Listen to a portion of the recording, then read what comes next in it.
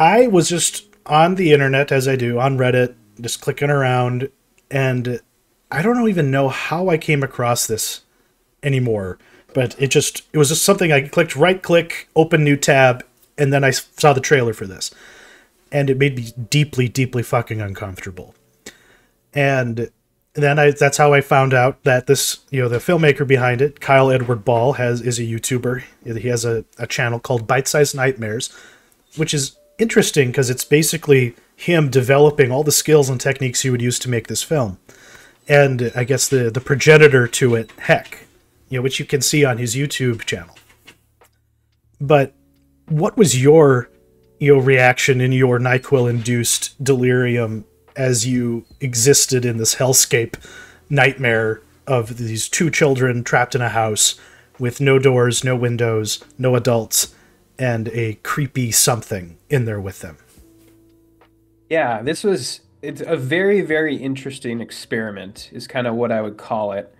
Um, I don't know if this is like this probably isn't the next big, you know, horror subgenre like found footage or something like that, but I don't think there's quite enough here for that to happen. Like yeah. this is this is something you could only probably watch a couple movies of and then it would kind of get tiring. But um if people don't know, the sort of style of this is he films like things like off center like not the subjects are never actually like on the screen really it's always they're either off screen or there's just like their legs or like their heads or something and the dialogue is all like muffled and off screen also mm-hmm. and there's mm-hmm. subtitles that come up and it's um, supposed to give the effect of essentially being a uh, child um, you know walking around your house in the middle of the night your parents are asleep and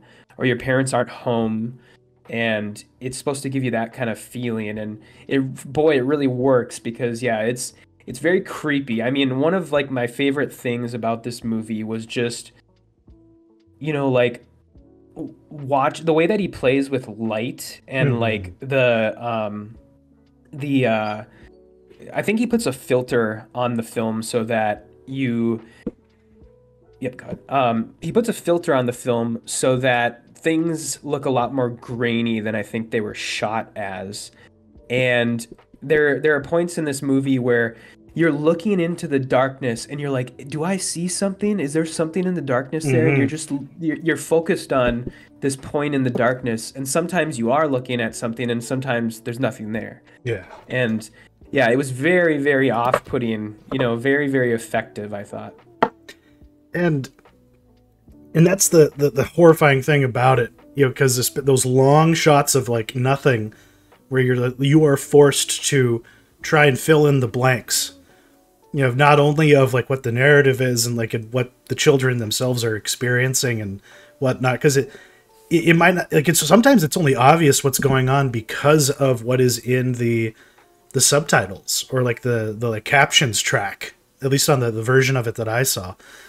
Because it, ah but the, the it, pure nightmare fuel. I watched it in the middle of the night and i should not have done that because it, it yeah i have a, like a, a house palm tree in my room and in the darkness, you know, like with my com- you know, my computer is next to it, so the exhaust fan causes the leaves to just kind of like blow and like move slightly and I, I scared myself, you know, like after watching this movie. And I haven't done something like that since I was a child.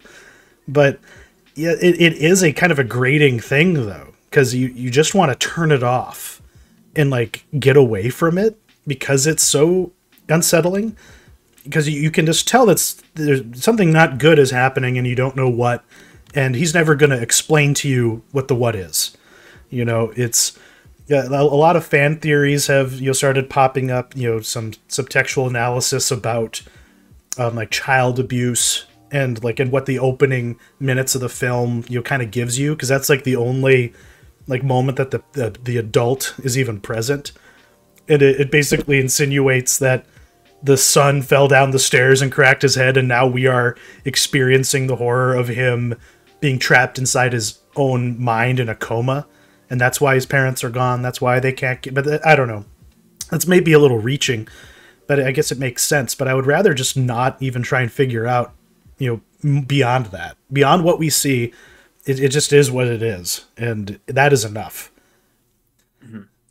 Yeah, it's um, very, very. I mean, basically, this this is a very, very slow burn film, and so I would recommend anybody who's going to watch it to just kind of go in know, knowing that because, yeah. um, it i mean the the detractors of the movie have called it sort of boring but i think you really need to be in the right headspace yeah. and you you really need to you know devote your time and your attention to it um, it's not something that you can watch in like the middle of the day on like a you know your phone screen or something like no. that. No. Uh, and that's half the trouble because we I guess we should mention it's hard to see this thing legitimately. Yes. he doesn't yet have a distributor um, uh, uh, Ball has been pretty uh, present on the on Reddit because that's been driving a lot of you know you know eyeballs his way, and he knows that the only way people can see this thing is from you know pirated versions of the Fantasia Fest, you know you know screening that he did essentially because like I'll admit it that's how I saw it you know but that's how everyone is seeing this thing. Um, he he wants to get a distributor. He doesn't know if it's going to happen you know, and, and that's an unfortunate. But he's he's also you know appreciated everyone's interest. He's gained a lot of new subscribers on Bite Size Nightmares, but Skinamarink has his full attention, and you know, and that is you more so you know you're going to be his priority for a while before he starts uploading again. But where do you see this guy going? Does is there more that he could get in his career? Like, what else do you think we could see him do that would still be this experimental and creative, but maybe more accessible. Yeah, I don't know. I mean, he I mean, he definitely has a talent, that's for sure. Um he is one of those guys I could probably see making something in like another subgenre. You know, I don't think he basically I don't think that he needs to stay within the confines of this sort of subgenre he started uh, to to remain good. Like I think yeah. his ideas in and of themselves are interesting because you know just this idea of like a kid, um, you know, you had said earlier, sort of delving deeper into his like subconscious as he like slowly fades fr- from life in a coma. You know, it's it's pretty interesting and um, pretty, really depressing, but um, yeah, I, yeah, I, I, I up. see this. really fucked yeah, up. Super, super. Yeah, and that's I a, could see yeah. him going somewhere. But I appreciate a filmmaker who, you know, like where like the virtues of his film are drawn out by just asking the audience to do a little bit of work themselves. And what's great about this is that the work he's asking of you isn't active. It's like you just need to have your subconscious get into the same headspace and then just get, you know, taken in by it. Yeah, it yeah, an interesting guy and the whole back rooms genre it's like there's other people playing in it besides him but he's the only guy who's gotten a feature put out. So maybe we'll see more like this from other people too. What do you um what did you make of just out of curiosity the ending of skinamarink? Like what is your interpretation of of what's going on there? You know at its most basic, it's just these two children being preyed on psychologically by a monster, maybe. Like that's the the easiest interpretation, and then eventually he kills them, you know, or like gets out of them the suffering that he wants or it wants. But you know, maybe you know the other level of it is they finally like it, whether whichever of the children's perspective we're actually inhabiting, eventually they do die, and that's when the movie ends. Yeah yeah, I thought it was. I mean, I think the sort of the very very ending, the the interpretation I got from it was that he, the monster, whatever it is, is essentially like rewinding time to kill them over and over. Over again. and again. Yes. Okay. Yeah. Now, now, now I see what you're talking about, and that mm. that fucking rings true. Oh my god. Yeah. That's so fucked up. But mm. I, I'm I'm I'm here for that though. Like, uh, I want to be taken to a dark corner that I you know, don't want to consider sometimes. You know, mm-hmm. just maybe not at three in the morning. That was maybe a mistake on my part. yeah, and go watch. I mean, if you want, if you're interested in this right now, go watch Heck because Heck is it's up on YouTube right now. It's only like 28 minutes long, and yeah, go watch it. And it's basically a proto Skinamarink. You know, the mm-hmm. same kind of idea, but you know, a little more, you know, isolated. Doesn't quite stretch, you know, itself as far. You know, and maybe a little more easier to swallow. Yeah. What was surprisingly easy for me to swallow, I must say, was the surprise horror hit of 2022, Smile. Uh, I missed this when it was in theaters, but I remember seeing the trailer and being really turned off by it.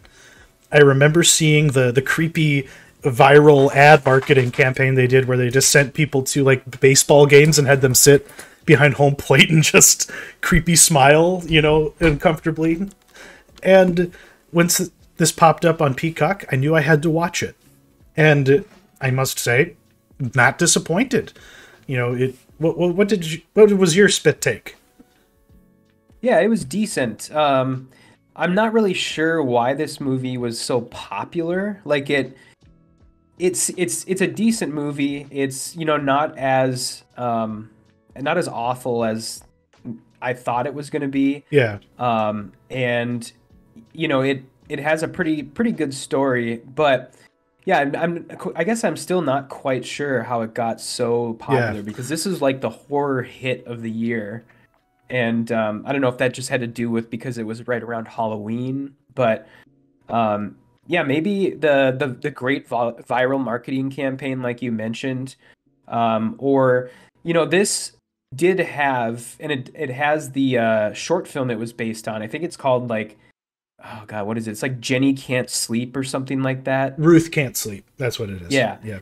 and that's up on YouTube. So I'm I'm sure that that might have had to do with it also. And um, but yeah, it was it was decent. I don't I don't know if I have all that much to to say. Yeah. There there was a little few too many jump scares. I don't know. I just can't. I have Oh. such a low tolerance for that stuff. But, and because that's the thing i i didn't like i i, I didn't have a, like a negative reaction to the jump scares for the most part because it worked its way up to it. But basically this the smile is just a ripoff of the ring and it follows.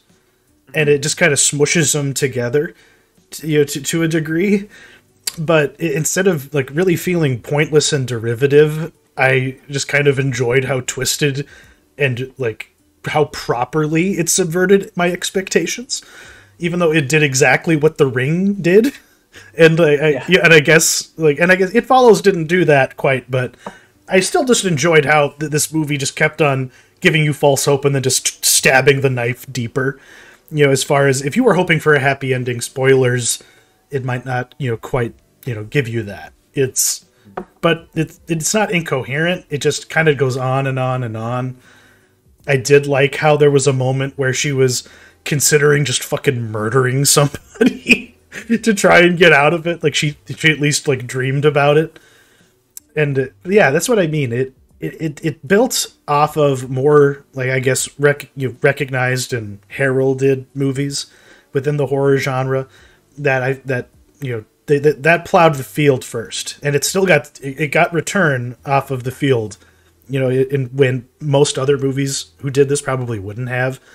I appreciate that the smile monster doesn't get a dumb name and like a cult book for someone to flip through. We don't know what the fuck this thing is. We don't know what it wants. It's just doing its thing.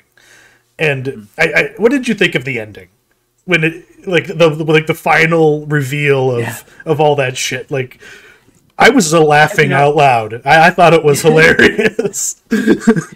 Yeah, no, it was, you know, surprisingly ballsy of an ending for for like a a studio horror film. You know, very very dark, very grim, and um, yeah, I, I thought it was a great ending because I I honestly was totally expecting some sort of you know eleventh hour you know like oh it was all a dream or like oh she was all just imagining it. Mhm. but nope it's she's actually just lit herself on fire and yeah. She's just Um, she's fucked. There's there yeah she, there's no saving she did there's no saving her.